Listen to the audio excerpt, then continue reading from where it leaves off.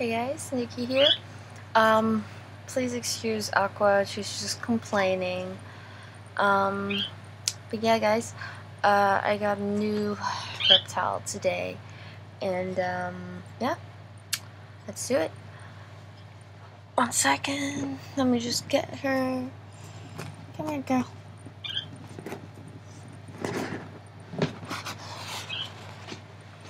Alright, here we go. This is, um, my new female iguana, blue axanthic iguana. Just get her. Alright, alright. Shh, shh, shh. Calm down. Calm down. Um, yeah, she's a bit stressed right now. New environment. Um, as you can tell, she's not adult, but she's definitely a sub-adult. Females don't actually get that big, but males get really big. Um, right now you can tell her little blob thing is out, so she's a bit stressed. Um, but yeah, guys, this is my new female. Um, for those of you who are wondering, um, my for my smaller one, I I kept the name for the axanthic iguanas to be um, Alaska. So this girl's name is Alaska. Um,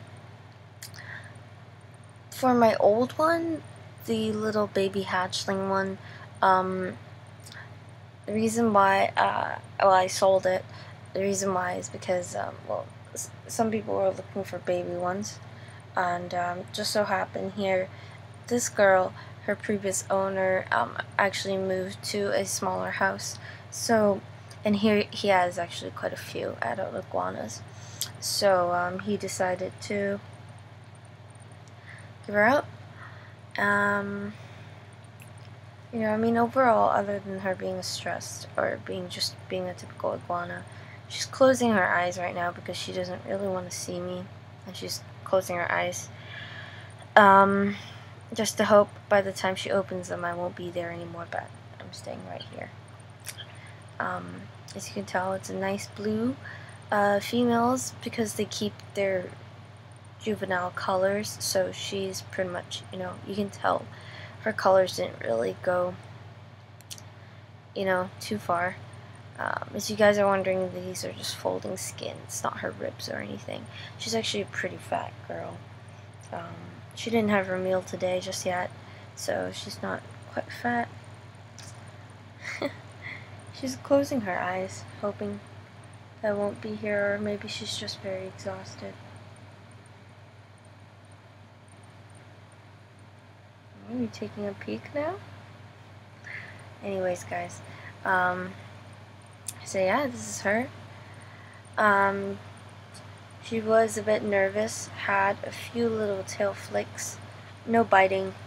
Um, but I just want to say, guys, uh, as because previously on my video um, with the baby Axanthic, um, people were like, oh, yeah, it's beautiful, where'd you get it, I wish I could get one.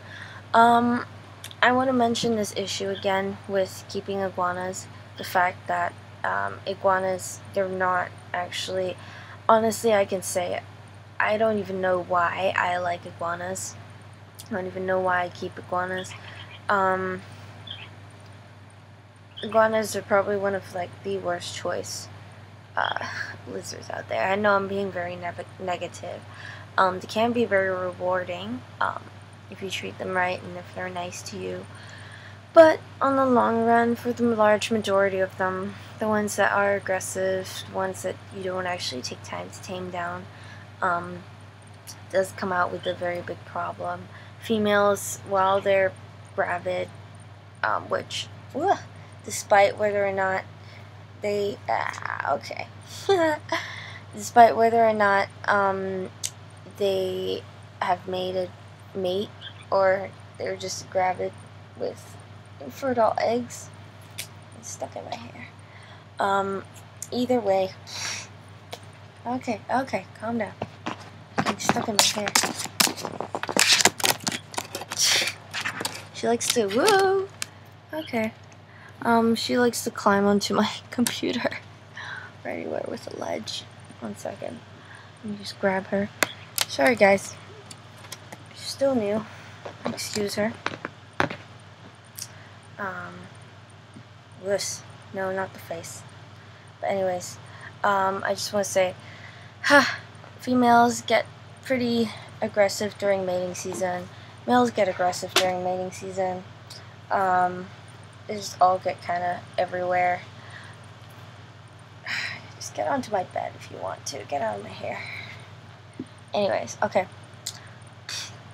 So, um, yeah, females get aggressive, males get aggressive, and um, definitely, I mean, Alaska's here is pretty nice for a uh, first day encounter iguana. But uh, for previous days that I have been visiting her from the shop, um, you know, there's it shows. It doesn't show. Here we go. As you can tell, that's not bad at all compared to any other iguanas, honestly.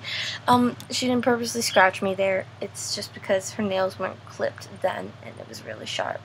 As you can see, she tries to get away somehow.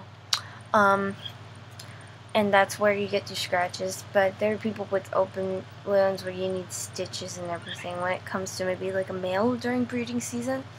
And so iguanas really are not, you know, I really don't recommend them for everyone. Um, I hope for any new owners of iguanas, you know what you're getting yourself into.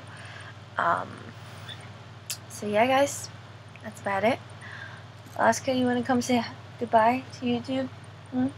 Before I let you go and chill out on your own? No? You don't like YouTube? Bye. Yeah, bye. Yeah, bye. No? Okay. Alright. Busy girl. Um, but yeah, guys. She's just being herself. No tail whips, thank you. But yeah, guys. Um, thanks for watching. If you guys have any questions, please feel free to comment, inbox me. But yeah, guys. Bye.